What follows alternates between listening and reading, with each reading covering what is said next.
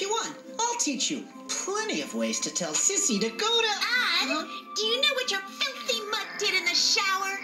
Oh, what a pretty picture. So you finally found Mrs. Einstein. Hmm.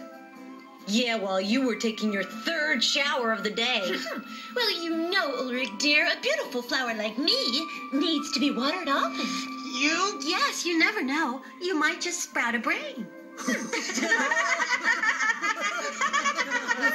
Morons. Hmm. I think you can give Odd lessons, Aelita. You sure learn fast.